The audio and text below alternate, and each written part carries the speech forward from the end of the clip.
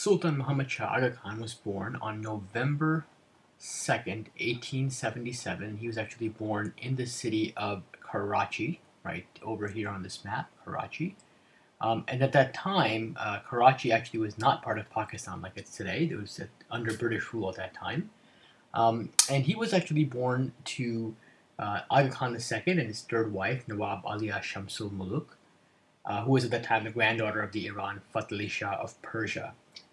Now, a few interesting moments uh, in his life. Let's uh, list those out. So, first, on August 17th, August 17th, 1885, uh, at the age he was actually seven years, nine months, and 16 days old, he succeeded his father as the 48th, 48th hereditary Imam of the Shia Imami Ismaili Muslims.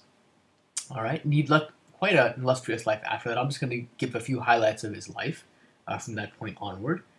Uh, so in 1906, in 1906, Sultan Muhammad Shah Aga Khan became the founding member of the All India Muslim League, the All India Muslim League. Okay, the All India Muslim League basically was a political party that pushed for the um, independence of a Muslim state or, or, trying to come up with an independent Muslim state. At that time, uh, really India was kind of this one monolithic country, uh, and it had been under British rule.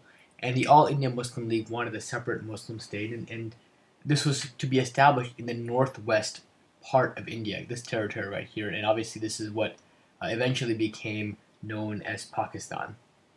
All right. Uh, in 1908, uh, Sultan Muhammad Shah married uh, a woman by the name of uh, Cleope Teresa Magliano. And uh, they actually uh, had two sons. The first was uh, Prince Giuseppe Mehdi Khan, who was born, uh, actually, he died in February 1911. He actually died after a year of life.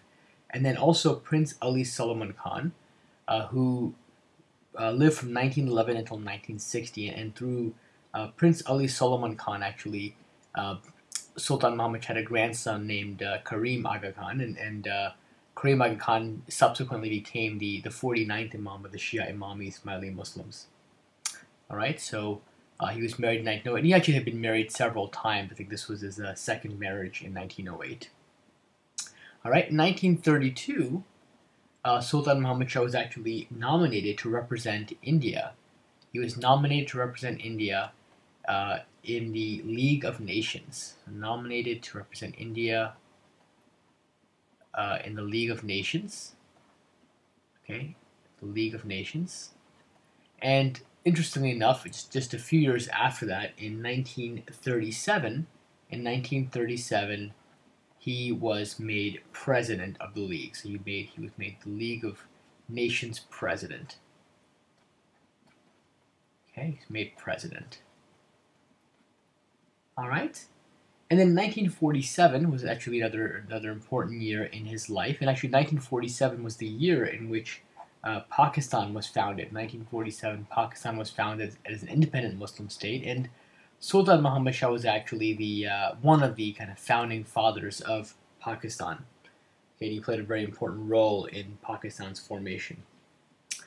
Okay, and then in 1957, in fact, on July 11th, 1957 uh, Sultan Muhammad Shah Khan died, uh, and he had actually served um, as Imam of the Shia Imami Ismaili Muslims for 72 years. So 72 years as Imam, that, that's an incredibly long time to be um, a, a, leader of that sort in, in any capacity. And it's, it's primarily because he started uh, really young. He was the Imam when he was just a little bit under eight years old, and, and really for, for most of his life, he was the, the spiritual uh, leader of that community.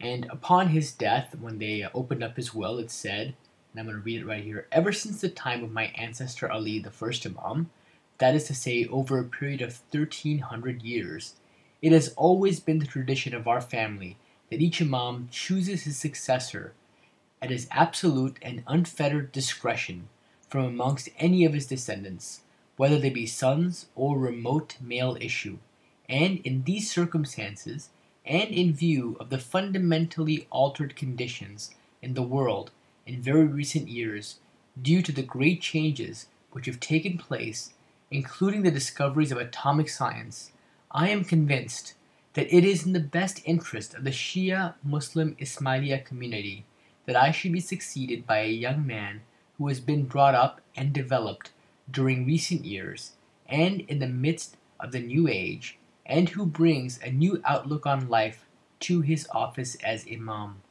For these reasons I appoint my grandson Karim, the son of my own son Ali Salman Khan, to succeed to the title of Aga Khan and to the Imam and Pir of all Shia Ismailian followers. And this was actually a pretty big deal. I think people had been expecting that, that Sultan Muhammad Shah was going to appoint or, or confer the imamate onto one of his sons, and he, had two sons at that time, but instead he skipped a generation and conferred the imamate onto his grandson, uh, Prince Karim Aga Khan.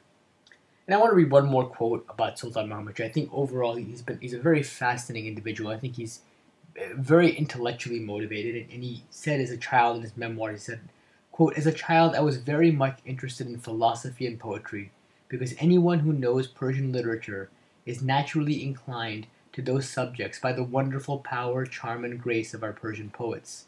I came under the influence of Hafiz, Maulana Rumi, and others at an early age and impressionable age, and they opened my eyes to the wonders of the universe and to the need of constantly being or constantly keeping abreast of scientific and philosophic speculation and discovery. I have never since lost my interest in these subjects and have tried as far as one can in the midst of a busy life to read all the most recent theories and the arguments on which they are founded. So he clearly was a highly intellectual individual. He was very well read, and he, and he studied not just religion and poetry, but also the sciences, and, and really was a very well rounded individual overall. And I want to just read one last quote. This is taken from the Institute of Ismaili Studies website. And basically, it says that Sir Sultan Muhammad Shah was a social reformer whose concerns included the alleviation of rural poverty, and the upliftment of women in society. An advocate of modern education, he became an ardent supporter of male and female educational advancement in India and East Africa. A keen connoisseur of culture, he advocated a truly multicultural education, blending the best and highest of Western and Eastern literary classics. He was a champion of amity between nations and people.